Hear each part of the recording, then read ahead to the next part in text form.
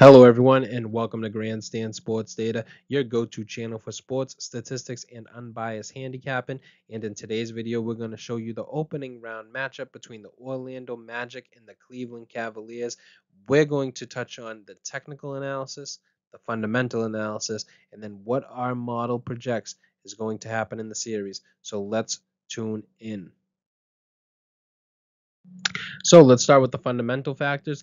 Fundamental fundamental factors here, we're going to start with pace. And pace in blue means that it's a weak factor, meaning that the team that has the edge, which would be the Cleveland Cavaliers, usually does not beat the team who does who doesn't have the the edge. So this would actually be favoring the Orlando Magic. Next, you're going to see win shares per 48 for each of the teams. That's also in blue, so it's a weak factor you can see that when you accumulate the win shares per 48, so this is usually a player's quality per 48 minutes, you're going to see that the Cleveland Cavaliers have the overwhelming edge with their players over the Orlando Magics. And remember, these numbers are based on playoff history.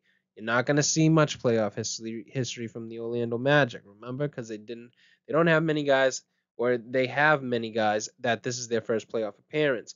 You're going to see win shares next. That's going to be labeled in yellow, and yellow is an average factor. And you can see Cleveland holds the edge there as well. So, so far in the fundamental factors, if you were to place it on anything, you would probably place it on Cleveland, but they are winning some of the weak factors as well. Home court advantage is labeled in green.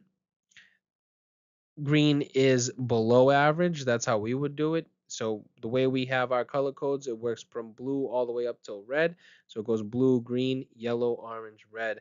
Green being about below par. So not necessarily a huge factor. The best factor here when it comes to fundamental would be the win shares themselves. As you can see, Orlando Magic only having 3.7 win shares when it comes to their lineup for playoff history compared to the Cleveland Cavaliers at ever 7.8. Donovan Mitchell 3.2 by himself almost beats the Orlando Magic. But remember, just because they have no playoff experience does not mean that they're not good in the playoffs. It's something that we just need to watch out for. You don't know Banchero will be good. You don't know Wagner will be good. Either one of the Wagners. You just don't know, and this is why they play the games. But so far, just based on fundamental factors, it looks like Cleveland Cavaliers would have the edge here. Let's move on to our technical handicapping now. So for our technical analysis, we're going to look at some of the huge factors first, or the huge factors, and that's really it, the ones that matter. And the ones that matter would be labeled in orange and, and in red. So orange here, we'll start with the first one is turnover percentage. You obviously want to limit your turnovers as an offensive unit. Cleveland has the edge in that department. Offensive rebounding percentage, another huge one. Orlando gets the nod there. Free throw per, per field goal attempt, this is one of the biggest factors. And Orlando is second best in the NBA. So them getting to the free throw line, they get there a lot. Whereas Cleveland, they kind of slack in that department. Now moving down, defense, when we handicap defense in basketball, just remember everybody's defense ramps up. Even the 29th ranked defense in the NBA ramps up come playoff time. But here are some factors that we look at. Turnover percentage, just like on offense. Are we creating enough turnovers? Orlando has the edge in that department. What about rebounding again? Orlando has the edge in that department. So Cleveland, when you just look at them as a whole, they look well rounded. But when it comes to Orlando and them playing Orlando, it looks like a pretty bad matchup. Let's move down all the way to differentials now. Here's another one free throw per field goal attempt differential. So, how well our team gets to the line and keeps your team off of the line.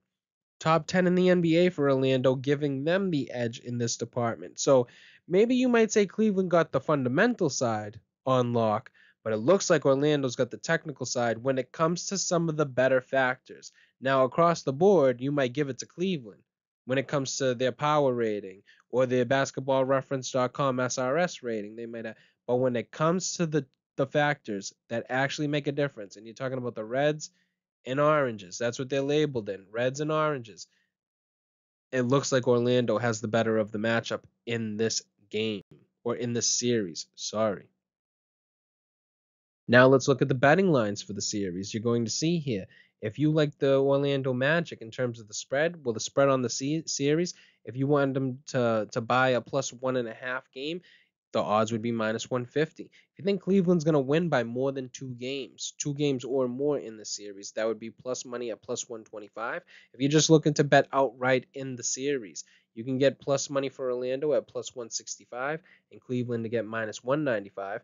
If you like playing the over unders, how far the series will go, if you think it's going to go five uh, over so six games, seven games, you're going to bet on minus money, minus 190. Or if you think it's going to be under five games or less, you'll get plus money at plus 155.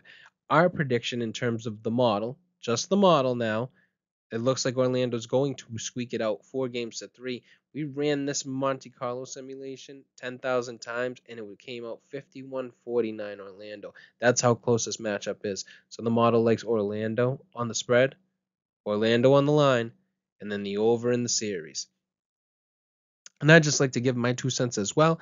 I think that it's going to be very close. The model has it close, and I agree with the model on this one. I don't necessarily always agree, but I do think that Orlando's going to give Cleveland fits. I do. I think that their team, just because they're not experienced enough, and that might be the difference in a seven game series, is that they're not experienced enough. But I don't think they're going to get blown out. I don't think they're going to lose no four games to none, four games to one, nothing close to that. I think this might go seven if they don't win it at all. So like always would like to thank you guys for watching. If you mind if you don't mind and you like our content, please subscribe. Also hit the like button. That would be greatly appreciated. What that does is it takes our content and throws it through that YouTube algorithm so it can work its magic. And then finally, if you wouldn't mind sharing and commenting down below, that would be greatly appreciated as well. So thank you guys again, and we'll see you in the next one.